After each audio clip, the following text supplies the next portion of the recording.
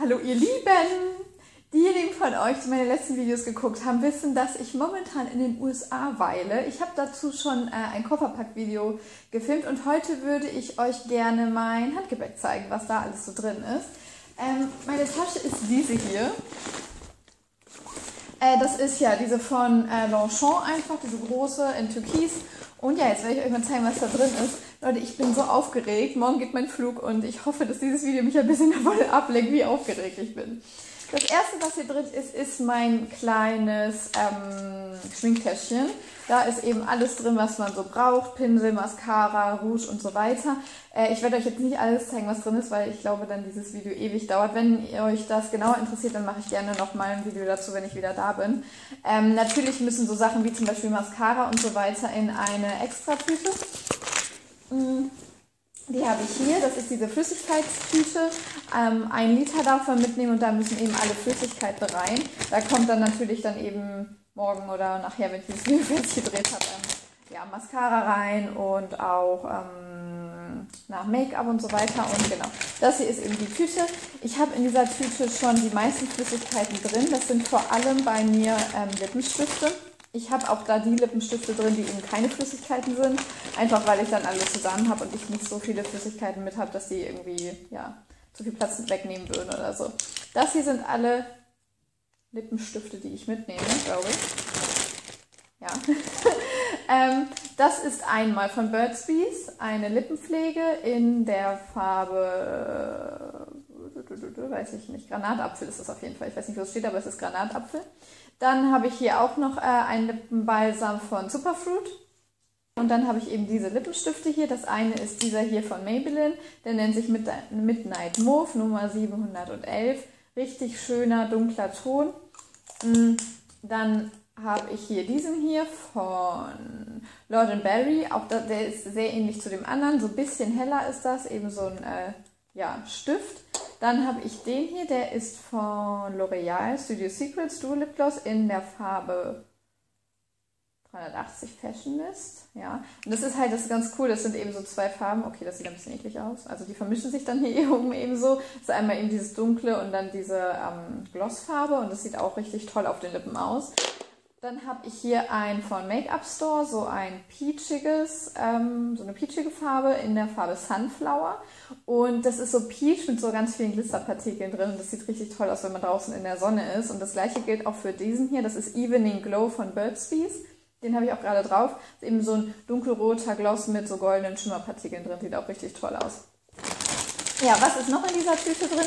Ich habe hier noch so ein kleines von Beauty Bee, ein kleines äh, Cleaning Tissue, also so ein Abschminktuch oder eben auch einfach, also ich werde das im Flieger benutzen. Da kommt eine Katze. Ich werde das im Flieger benutzen. Was heißt ihr übrigens von meinen Töpfen? Ich weiß, sie sind nicht ganz perfekt, aber ich habe mein Bestes versucht, nur für euch. Also, ich werde das im Flieger benutzen, ähm, um eben mal mein Gesicht so ein bisschen zu reinigen und abzuwaschen. Und ähm, genau, dafür werde ich das benutzen. Achso, davon habe ich zwei für den Hin- und Rückflug quasi. Dann habe ich hier noch eine kleine Handcreme. Alle, die schon mal längere Strecken im Flieger geflogen sind, wissen, dass sowohl die Lippen als auch die Hände darunter ziemlich leiden. Das hier ist eine, die ich bei meinem letzten Langstreckenflug, nämlich nach New York, bekommen habe von Institut Carité Paris. Ähm, ich habe die bis jetzt noch nicht ausprobiert, keine Ahnung, wie die ist. Ich hoffe. Dann habe ich hier von Aven noch ein, ein Thermalwasser. Ähm, genau, einfach zum Absprühen, zum bisschen erfrischen und auch vor allem zum Reinigen vom Gesicht. Ich finde das so abartig, wenn man so lange unterwegs ist, ohne sich irgendwie mal das Gesicht sauber zu machen. Ähm, dann habe ich, ach ja genau, das hier, das ist auch keine Flüssigkeit, das ist so eine kleine ähm, Handseife von Alverde. Äh, habe ich mitgenommen, um eben einfach dann in den Hotels und so weiter, wo wir dann äh, untergebracht sein werden, auch was zum Händewaschen zu haben. Man weiß ja nie, ob die wirklich was bereitstellen, deswegen nehme ich sowas eigentlich immer mit. Dann habe ich hier ähm, Kontaktlinsen. Ich werde im Flieger meine Brille aufsetzen und dann eben, wenn wir angekommen sind, die Kontaktlinsen reinmachen. Und dann habe ich noch so kleine ähm, Augentropfen, die sind von Icy. Die sind richtig, richtig gut. Die macht, man macht mal halt pro Auge zwei Tropfen ähm, rein und äh, das erfrischt das Auge halt so ein bisschen, macht es wieder wacher und vor allem trocknen die Augen dadurch nicht so aus. Und im Flieger ist halt so eine eklige Luft und ähm, da ist schon sowas ziemlich praktisch, finde ich. Das nächste, was hier drin ist, ist dieses kleine Ding hier. Das ähm, ist ein Flugzeugkit, nenne ich es jetzt mal. Man bekommt sowas häufig ähm, auf Langstreckenflügen. Ich habe das noch so ein bisschen ergänzt. Ähm, da ist eben alles drin, was man so zum Schlafen braucht. Und die Katze ist auch wieder im Bild, sorry. Äh, das erste sind Ohrstöpsel. Normalerweise ist immer nur ein Paar drin. Ich habe drei Paar, vor allem ähm, zwei Stück von mir, weil ich die vom Flieger nicht gut finde. Ähm, das nächste ist hier so ein kleines Tuch. Das äh, habe ich eben mit, um, wenn ich zum Beispiel mit diesem Avent Thermalwasser mich ja, das Gesicht absprühe, dass man dann einmal auch das eben abwischen kann. Einfach, ich weiß nicht, ich fühle mich dadurch dann irgendwie sauberer, als wenn ich nur das drauf sprühe und dann trocknet das fest und dann hat man noch mehr Zeug, was irgendwie auf dem Gesicht festgetrocknet ist. Äh, das nächste ist eine Augenmaske, mega süß. Die habe ich von, ähm, Moment, ich hoffe, ich zerstöre nicht meine Frisur. Von, ähm, ist sie nicht süß? Ich habe sie von Nanunana. Äh, genau, hier steht Night Dream drauf und die ist total weich, richtig bequem und ich liebe sie. Genau, das nächste, was hier drin ist, äh, ist Zahnbürste und Zahnpasta. Werde ich auch einfach mal mitnehmen. Äh, wie gesagt, kriegt man aber meistens auch im Flieger schon noch.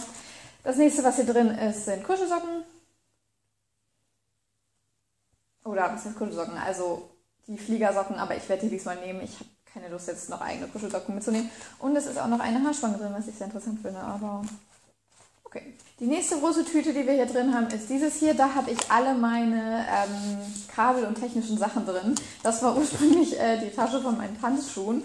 Und ja, das war aber irgendwie die einzige, die ich hier hatte, die groß genug ist. Da sind eben ja meine ganzen Kabel, Ladekabel für äh, Kamera, fürs Handy, fürs ähm, Tablet und so weiter drin. Was hier aber auch drin ist, ist ähm, so meine Kopfhörer von Friends.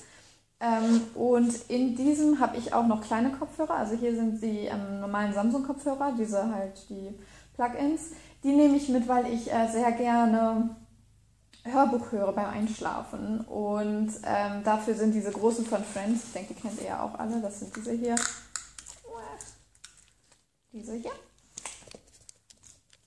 Dafür sind die eben ein bisschen schlecht, weil wenn man so auf der Seite liegt und da drauf liegt, dann ähm, ja, tut das weh und äh, macht die Kopfhörer kaputt. Und deswegen nehme ich eben zusätzlich noch die kleinen mit. Die werde ich aber eben nur zum Schlafen nutzen, weil die hier wirklich, hallo, viel cooler aussehen und auch einen besseren äh, Sound haben. Ja. Und was hier auch noch drin ist, ist mein, ähm, mein iPod. Da habe ich Hörbücher drauf, Musik drauf, damit ich mich während dem Fliegen beschäftigen kann. Das nächste, was ich hier habe, sind zwei Brillen-Etuis. Das hier ist einmal das von meiner ganz normalen Brille. Da habe ich äh, die Brille drin und auch nochmal Ohrstöpsel. Und ähm, das hier ist das Etui von meiner Sonnenbrille. Ja. Und die braucht man natürlich auch in der sonnigen USA. Was bei mir in so einer Tasche auch nie fehlen darf, ist Essen. Ich kriege immer Hunger grundsätzlich und ich brauche einfach irgendwas, wo ich irgendwie ja, so zwischendurch dran snacken kann. Deswegen habe ich mir so ein paar Sachen eingepackt. Das erste sind die hier, Kesselnüsse. Ich denke, ihr kennt alle Kesselchips. Kesselnüsse waren mir bisher ganz unbekannt und ich bin echt gespannt, wie die schmecken. Dann habe ich hier noch dieses hier, äh, Cranberries. Ich habe die Cranberries mit Erdnüssen gemischt. Dann kann ich euch eben zeigen. Hm. Ja, sieht man das? Das ist halt, ja, Cranberries und Erdnüsse. Hm. Und diese Kombi, Leute, einfach so lecker. Erdnüsse, ungesalzen, Tusch Cranberries, genial. Und dann habe ich noch das hier. Hm. Das sind so vier kleine Kekse. Auch zum Snacken. Entschuldigung. hm. Ich werde auch noch einen Apfel auf jeden Fall mitnehmen. Ein bisschen was Gesundes muss sein und ähm, eine leere Wasserflasche. Genau, das wollte ich euch auch noch sagen. Das ist ein richtig guter Tipp, um Geld zu sparen. Nehmt euch ein, einfach so eine 0,5 Liter Wasserflasche mit leer. Die dürft ihr dann auch durch die Security mitnehmen. Man darf ja nur keine Flüssigkeit mitnehmen und füllt euch die, dann die dahinter am Waschbecken einfach wieder auf. Natürlich muss es Trinkwasser sein, das ist klar, aber an den deutschen Flughäfen ist es immer Trinkwasser. Und ich sehe es einfach nicht ein, für so eine halbe Liter Wasserflasche äh, 5 Euro zu bezahlen. Und deswegen mache ich das seit Jahren so und es funktioniert super. Oh, ich muss noch eben hier was von essen. Oh, ist schon. Hilfe 1. Und ich habe ein Frühstück. Also sorry. Hm. Jetzt kommen eigentlich die drei wichtigsten Sachen in meiner Tasche. Das ist einmal mein Geldbeutel, dann meine ganzen Karten und mein Pass. Pass ist, denke ich, klar, wenn man äh, ins Ausland reist, sollte man den mit haben. Das hier ähm, ja, ist einfach so ein kleines Etui und da kann man hm, ich muss jetzt schauen, dass ich euch nichts zeige. Hm. Man kann da halt überall so seine Karten reintun. Hm. Ich habe halt meine Kreditkarten, meine Ausweise und so weiter, alles hier drin. Ich finde, das ist sehr praktisch, einfach weil man dann nicht so ein riesen Portemonnaie mitnehmen muss. Und ähm, wenn man da dann mal irgendwie weggeht, nimmt man einfach das hier mit und man hat alles dabei. Und das hier ist mein Portemonnaie. Diejenigen von euch, die mich schon ein bisschen kennen, wissen, das ist nicht mein richtiges Portemonnaie. Ich habe ähm, eigentlich ein, ja, Richtig, richtig schönes Portemonnaie aus Leder. Das Ding ist, das ist mir einfach viel zu groß, viel zu dick und vor allem will ich einfach nicht, dass das irgendwie auf der Reise kaputt geht oder verloren geht. Deswegen habe ich mir das hier gekauft von Woolworth für 3 Euro oder 4 Euro oder so, keine Ahnung. Hm, ich finde es eigentlich ganz süß. Vor allem ist es flach und ja, da habe ich Geld drin. Eigentlich nur Geld. Und ja, meine Victoria's Secret äh, Kundenkarte, die muss natürlich auch mit in die USA.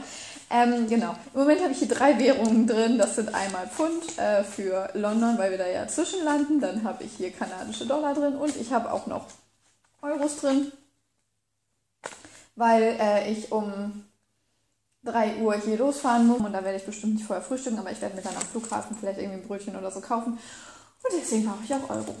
Ja, und der Rest, der hier jetzt noch drin ist, sind so Kleinigkeiten. Ähm, einmal ein Regenschirm. Ich habe immer einen Regenschirm dabei, weil wenn ich den nicht mit habe, dann regnet es mit Sicherheit. Taschentücher kann man, denke ich, auch immer gebrauchen auf so einer langen Reise. Dann habe ich hier so ein kleines Ding, ich glaube, der ist vom H&M. So einen kleinen, wie nennt man das, so einen Roller, um die Klamotten sauber zu machen, ist für jemanden, der eigentlich eine Katze besitzt, die unglaublich hart, sehr, sehr wichtig. Dann einen kleinen Spiegel mit Bürste dran. Vom DM kennt ihr sicher alle. Dann habe ich ähm, noch ja, zusätzliche Kontaktlinsenbehälter mit und mein kleines Notfallkit. Diejenigen von euch, die mein allererstes Video geguckt haben, das ist das What's in my Bag Video, die haben das hier schon mal gesehen. Da sind halt alles so Sachen drin, die ich glaube, die man eben vielleicht eventuell brauchen könnte. Das heißt ähm, Pflaster, ein Tampon, verschiedene Haarspangen und ein Haarband. Und als letztes habe ich noch dieses hier mit. Geht zu. Ähm, als erstes habe ich noch dieses hier mit. Das ist ein Schloss. Und zwar ist es so, dass wir ganz am Anfang in Hostels untergebracht sein werden. Und da gibt es eben äh, Schließfächer, wo man aber sein eigenes Schloss mitbringen muss. Und ja, ich, da ich halt schon ein paar Wertsachen mit habe, wie zum Beispiel eine Kamera und das Tablet und so weiter. Achso, das habe ich vergessen. Das Tablet habe ich natürlich auch noch mit. Darauf filme ich aber gerade. Mein Handy habe ich auch noch mit. Das liegt hier aber gerade irgendwo. Und ja. Ja, Ihr Lieben, ich glaube, das war es auch schon. Äh, ich hoffe, euch hat es Spaß gemacht. Wir sehen uns ganz bald wieder. Äh, ich hoffe, ich bin mittlerweile gut angekommen und schon ein paar Wochen in den USA. Ja, morgen geht's los. Ich freue mich mega und ich hoffe, ihr habt auch eine schöne Zeit, während ich weg bin. Und bis dann. Tschüss.